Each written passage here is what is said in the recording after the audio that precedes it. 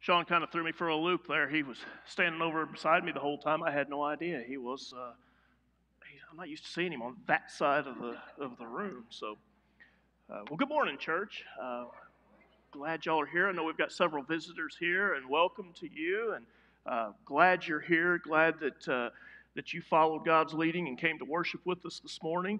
Um, we're going to be in John 14 this morning. That's where we're going to start. Um, so go ahead and be turning there. I got. Uh, I do want to tell you that uh, we have uh, on September 30th. We've got a, a rip roaring good time. We've got a business meeting coming up. We hadn't had one of those in a long time. We probably ought to have one. So September 30th, we're going to do that right after service.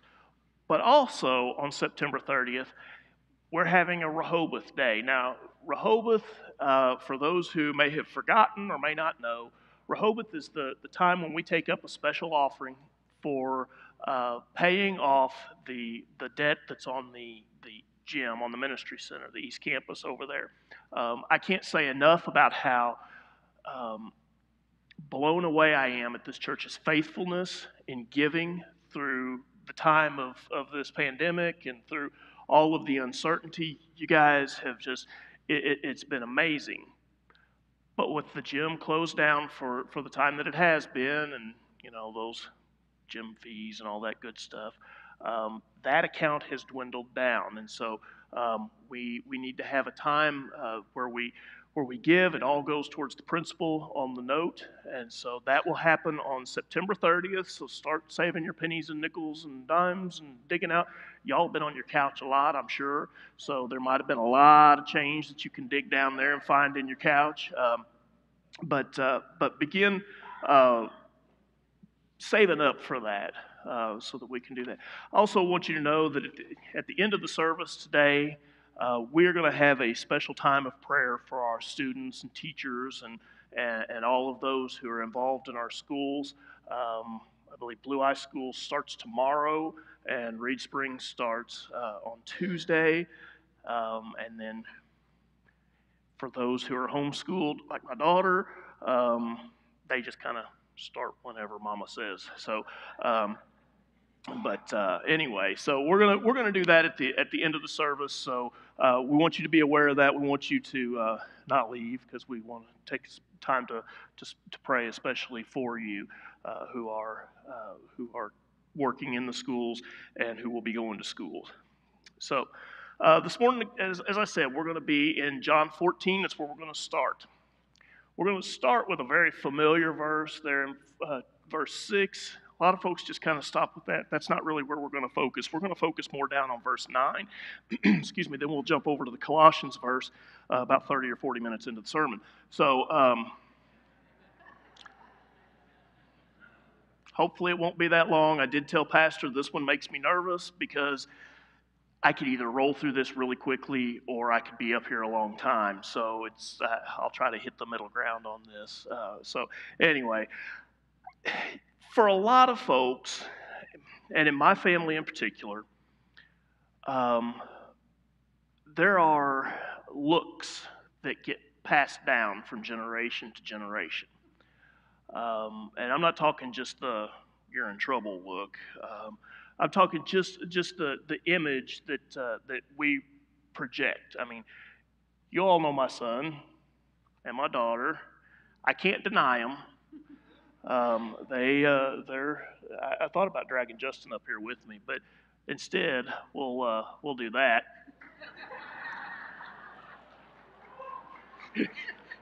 He's really not liking me right now.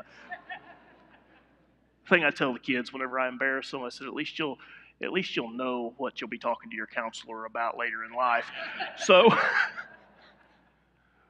but you've got Justin, and then you've got me. I was a little, I was just maybe a year or two older than Justin when that was taken. And then you've got my dad. Jordan saw this picture a couple weeks ago and said, Is that you, Dad? there are black and white pictures of me, but no, that was so all three of us together, you you kind of get to see a little bit of a resemblance there. I couldn't get away with anything. If I had been one that was ever getting in any trouble, which I didn't, um, they didn't have to know who I was. If they had met my dad, they knew who to go to. They knew, you know, hey, your, your, your boy was doing, was doing this or was doing that. But again, I wasn't ever getting in any trouble. So a few years ago, I was in a store over in Branson, and, and uh, a guy came in that I hadn't seen for at least a couple years before that. And I, Justin was on another aisle from me. I don't know uh, exactly where we were, but this fella comes in and he says, and, and he saw Justin. And then he came just up and down the aisles in the store, and he said, I knew you were here. He said, I couldn't remember his name, but that was James Talley's boy, so you had to be here somewhere. He couldn't, I mean, he there, there was no way of getting around it. Certain looks among Talleys are is strong. My sister's got two boys that whenever you look at some of of, of the pictures of, of them and some whenever I was a kid, um, whenever I was little, it, the, the, the resemblance is there.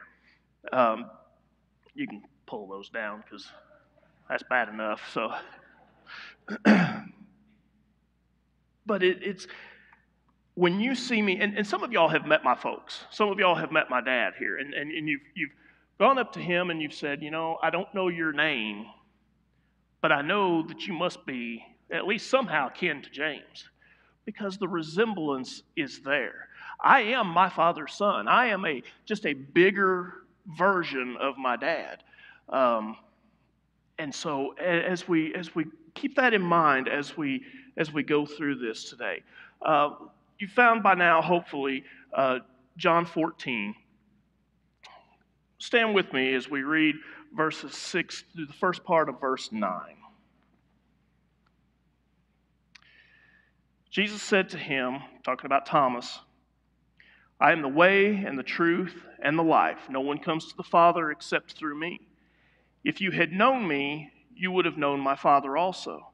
From now on, you do know him and have seen him. Philip said to him, Lord, show us the Father, and it is enough for us. Jesus said to him, Have I been with you so long, and you still do not know me, Philip? Whoever has seen me has seen the Father.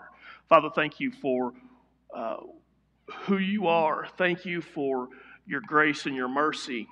And Lord, we thank you for your word. Uh, God, just speak clearly through me today. Lord, there's so many thoughts rolling around th- through my mind on this. And, uh, but may it be clear. May, may the folks listening here and online and on the radio hear uh, the, the truth of the message that you have for them. Thank you again, Lord. It's in Christ I pray. Amen.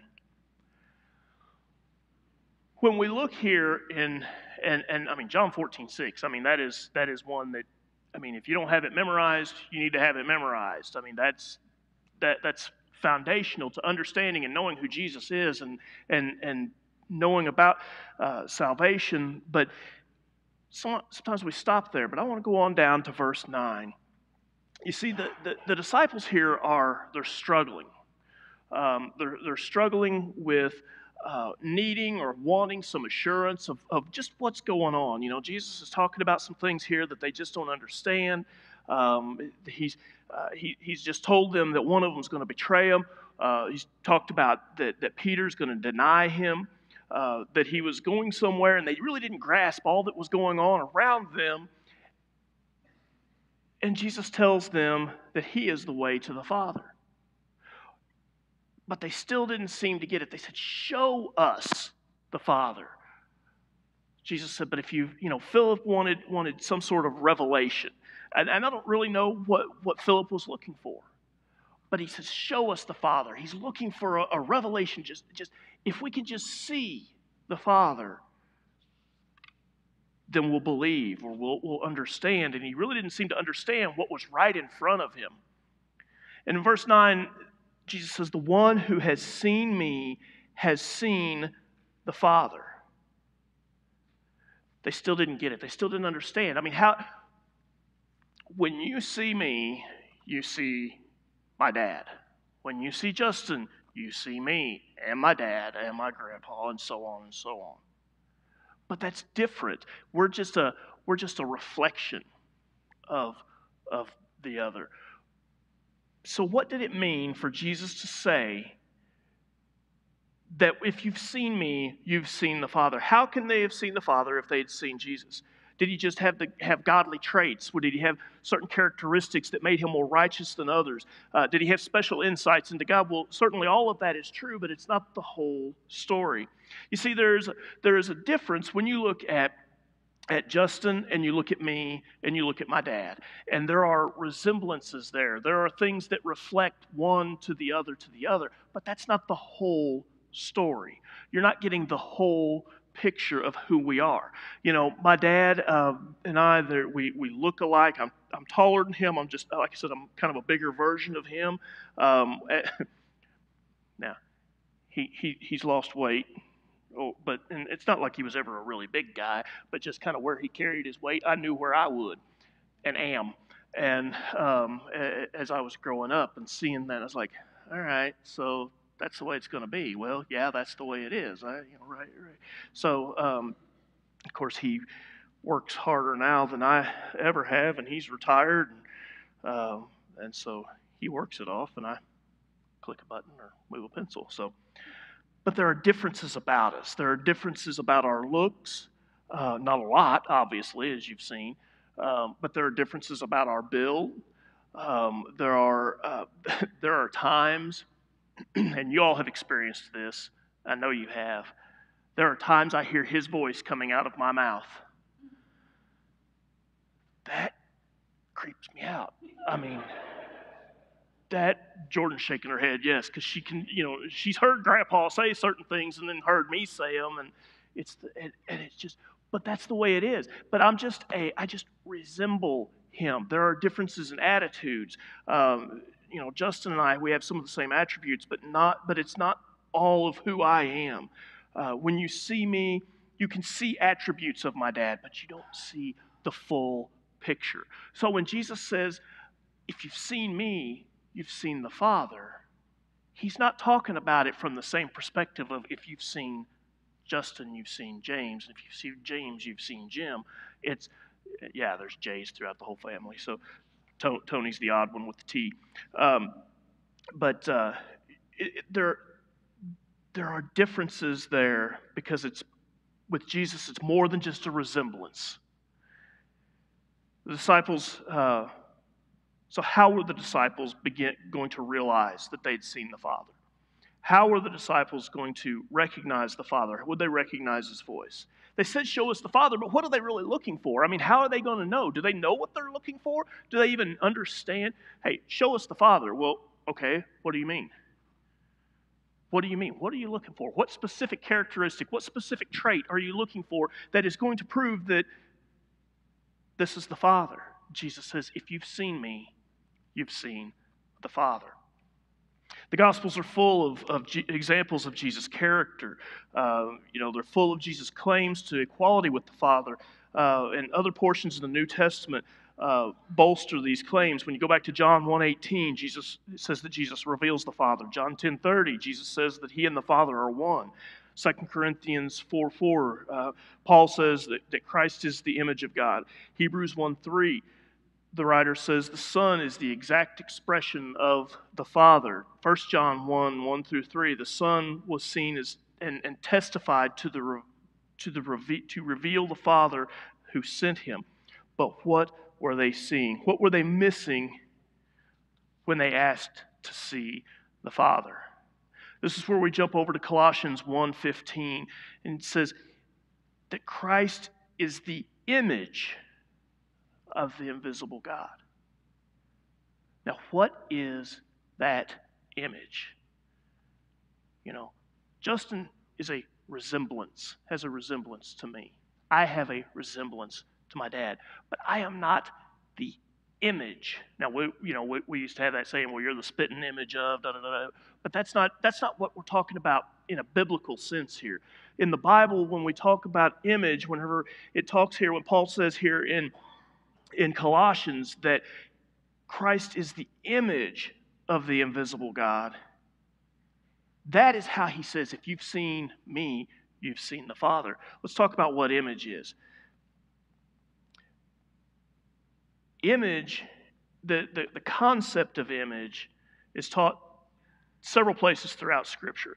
And there, there's a key thing that, that happens in, in, uh, in Genesis, really, where it all begins and talks about that mankind was made in the image of God. It doesn't say mankind was made the image of God. Mankind was made in the image. Now that sounds small, or you know, like, but it, but it's kind of a big deal here that Jesus is not in the image of God.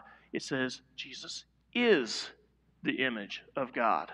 It's far more. Image is far more than a simple reflection or a depiction of something else. It's far more than, for those who remember taking a picture with film, uh, it's p- far more than the, the negative that, that, that, happen, that, that happens there that you go and you get developed. Image here is far more than that. The word for image in the Greek is icon, and it's where we get our English word icon. You know, uh, see, I like those Greek words. The ones that I don't know where the accent went or if the little apostrophe goes this way or this way. Those are the ones that'll drive you nuts. But these I like. These are easy. Um, these make me look make me look like I know what I'm talking about whenever I say something about Greek.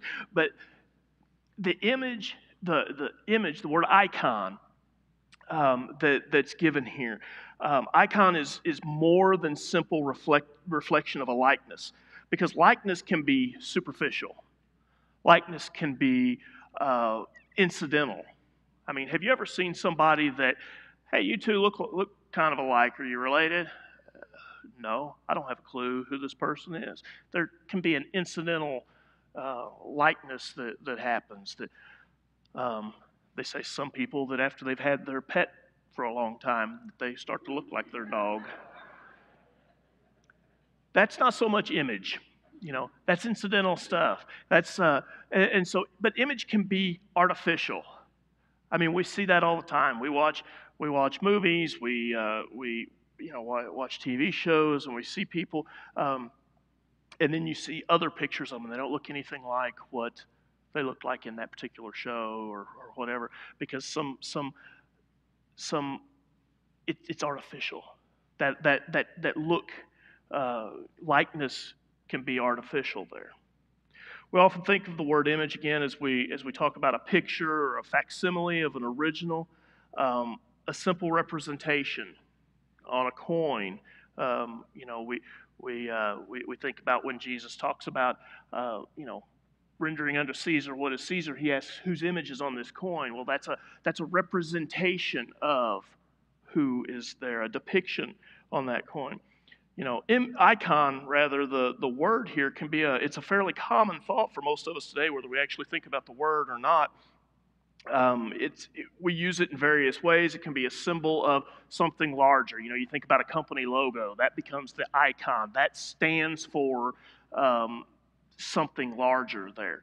You think about um, uh, it can be a person, somebody who represents a, a larger ideal. It can be a symbol on a computer screen. You know, we all have those icons on our on our computer screen, and what does that do? It represents something larger, but it gains us access to something larger, hopefully. But the Bible, when it talks about Jesus being the image of God, all of those other definitions do not give us the complete picture. When we talk about the, the biblical connotation of image here, when we talk about Jesus, while he fits all of those others, it's not complete, it's not full, and the full picture goes beyond representation. It goes beyond manifestation. You know, Jesus uh, was, was, was God manifested here on earth, but it goes beyond that. Um, Jesus Christ alone truly and fully mirrors the Father as the exact representation of who he is. You remember, you may remember Pastor Jeff talks about the um, what in the Trinity. What's true of the Father is true of the Son, is true of the Holy Ghost. That's image. That is the image, image that we're talking about here uh, in, in Scripture and what Colossians talks about. And it's why Jesus can say, when he's talking to the disciples, if you have seen me, then you have seen the Father, because we are one. When you see me, you see him. All three members of the Godhead, of the Trinity, are part are one in, in the same. Image has intent, it has purpose, it has uh, essential qualities inherent within it. Um, we find this to be true of other passages as well, even though they don't really use the term, the specific term image or icon. Uh, Philippians 2 6 talks about Jesus being in the form of God. Hebrews 1 3 again talks about the expression, exact expression of God, of the Father. So Jesus was of the same substance when you start getting into all these theological terms. He, he was of the same substance as the Father, and it wasn't just this physical manifestation. Now, obviously, Jesus was completely, fully man, the physical representation, physical manifestation of Him here on earth. That was absolutely true, but it goes so much beyond that. He was, he was more than just a simple representation of the Father. He had the full power, the full authority, and the full existence as the Father, but placed himself into our existence for the purpose of making the Father known. So, image. When we when we see the Father or see the Son, we've seen the Father. Jesus said to, the, said to the disciples that because they had seen him, they had seen the Father, and he wasn't talking again about what God may look like physically. We have no idea what God the Father may look like physically. I mean, it says God's God is spirit. So, I mean, what what form is he going to take? We don't know. Doesn't matter. That's not the point that Jesus was saying. He was talking about the fullness of who God is. The revelation of God to, to mankind comes with hope and promise and salvation and relationship and fellowship that Pastor's been preaching about the last couple of weeks. This sustaining grace, this, this purpose, and a future. When, he, when Pastor's been preaching there in 1 John talking about abiding, living with God, we do that because of the image of God that Jesus is. The revelation of the, the image of God, though, comes with expectations and responsibilities as well. Um, the Bible says that after we're saved, we are to grow in our Christ likeness. The Bible says in Romans uh, that we are to be conformed to the image of Christ. It says in 1 Corinthians 15 we are to bear the image of the one from heaven. 2 Corinthians says we are to be transformed into the same image as the Lord. How do we do that? Yes, man is made in the image of God, but how do we become more Christ like? How do we grow in this? The only way is because we place our faith in Jesus Christ, who isn't in the image of God, but is the image of God. Are you am I making sense? Am I am I getting that across that he is God? He is the one who shows us who we ought to be. He is the one who gives us the example. He is the one who, yes, manifested God on earth, showed us who God the Father is, but it was beyond just reflecting who God is. It was saying, I am God, and follow me. He says, If you've seen me, you've seen the Father. Now, what kind of assurance do you think that could give? These if, if you've got folks who are on the fence, so to speak, don't they don't know, they don't they don't understand what this whole believing in Jesus thing is. And especially then, you know, hey, Jesus, show us the Father and we'll believe. If you've seen me, you've seen the Father. If you've seen me, if you understand who I am, then you'll understand who the Father is and why I'm here and why I, why I came and what salvation is. This image truly reflects who we are to be. We grow into, you know, again, we're, we are created in the, image, in the image of God, and then we grow into that likeness of Him as we move as we move through our walk as we learn again as pastor's been preaching how to abide in him when you see justin and you see me you don't get the whole picture when you see jesus he gives it all to you He doesn't, ha- he doesn't, doesn't hide anything about the Father from us. He says, This is who God is. This is who I am. Today, I just I, I want to ask, have you met Jesus for who he really is? Are you seeing him as maybe simply a reflection of God? Do you understand him as God?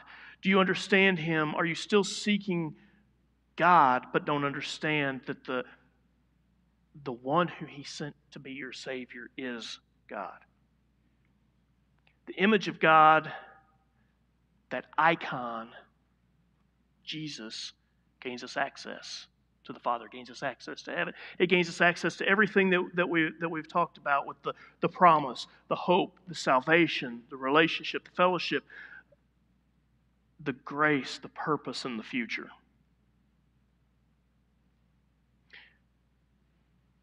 I said, you know, like like you know, when we when we click on that icon on your on your computer screen, that it's it opens up something far greater than what you have that you just see on your screen. And there's so much more that's going on. Know, all the little wires and connections that are that are in your computer. Are you seeing, do you do you understand who Jesus is? That he is that that icon that gives you access to so much more. The disciples didn't seem to understand it at that moment. They would, they would come to understand. But do you today understand that with Jesus, you have access? With Jesus, you have it all. You have everything that God offers you. There, it's not Jesus and, it is Him alone. Perhaps you know Jesus is your Savior, but are you growing to be more like Him? Are you abiding in Him? Pastor's going to be taking up uh, First John again, I believe, and uh, kind of he sent his, e- he emailed out his outline for next week before I got this one done, and I'd had the outline on this one for about three weeks. So um, he's he's ready to go. It's it's it's in his mind. He's been thinking about abiding in God and being back there in First John. Are you growing more like Christ? Are the family traits showing through you? There are things about, again, about the, the, the look that, that Justin has, I have, my dad has. Family traits that show through. There are family traits about being in the family of God. There are family traits that ought to show through whenever you have committed your life to Christ. Are they? If they're not, Today is the time to change that. Not tomorrow, not the next day, not waiting for Pastor Jeff to be back in the pulpit. It, today is the time because God doesn't promise us tomorrow.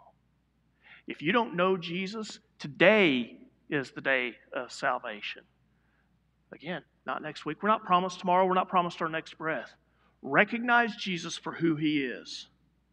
Because if you've seen him, you've seen the Father. As a believer, does your talk match that of your Heavenly Father? When you say something, do you say, I don't think the disciples would have said that? Or do you sometimes marvel and say, wow, where'd that come from? I say, th- like I said, I say things to the kids every now and then that I'm like, oh, I don't know where dad came from, but he's in there somewhere.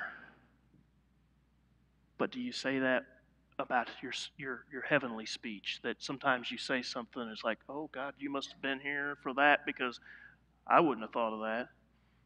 There's times in the office that somebody will say something, you know, whether it's pastor or me or Sean or whatever, it's like, that was God that said that. And then we got all right, we got to go write that down because we're not smart enough to remember it. But are you, is your trust in the one who said, If you've seen me, you've seen the Father?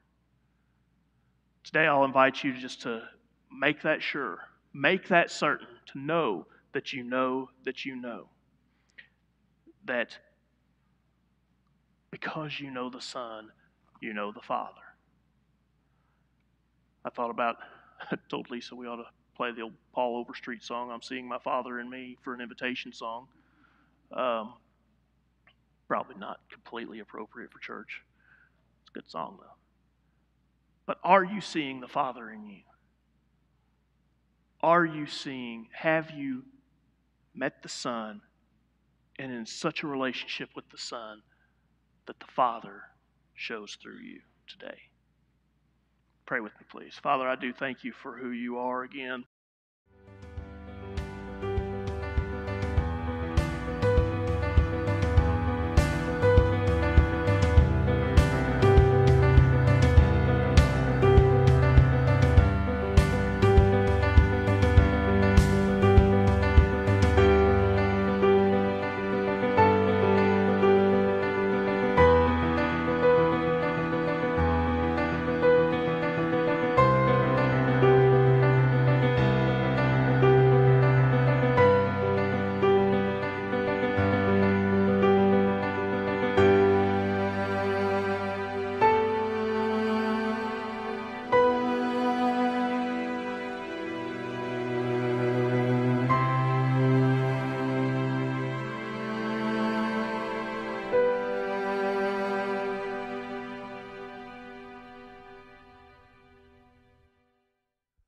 I know a lot of you have been asking about our financials after we went through a few months of not meeting together in person.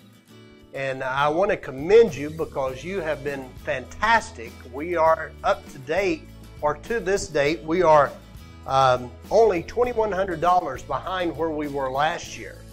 So we're still behind, but we're not near as bad as a lot of places are.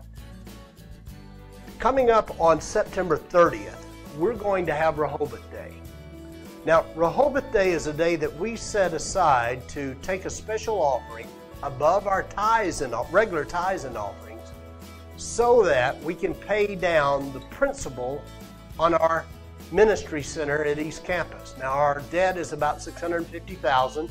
It's come down from 125, uh, excuse me, from a million two hundred fifty thousand. So We've really done a great job. You've done a great job on that.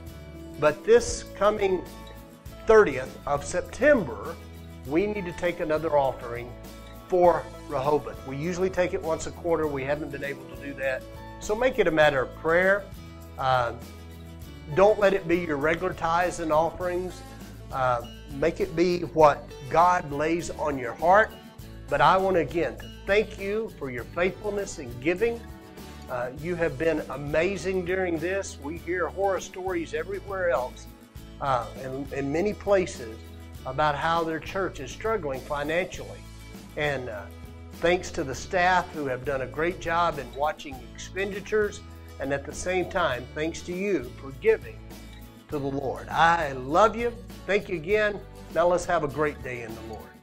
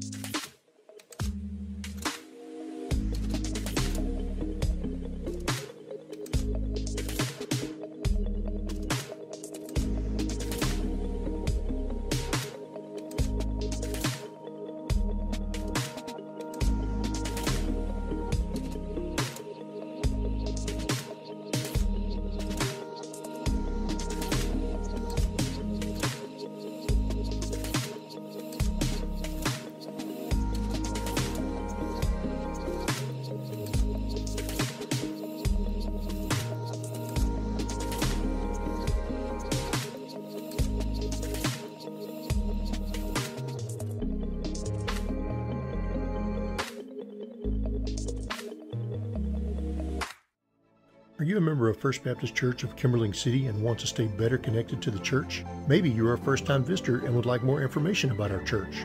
Text in Church is a new service being offered by our church to help you stay informed.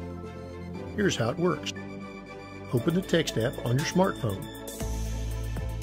In the phone number or to field, enter the phone number 417 815 3848 if you are a member, type Member in the message field and tap Send. If you are a visitor, type Welcome in the message field and tap Send. In a few minutes, you'll receive a thank you text. Then you'll receive a second text that has the registration link in it. Simply tap on the link, fill in the form, and then tap Submit. That is all there is to it. It's easy, and all of your information is secure and will never be shared. So, what are you waiting for? Get connected.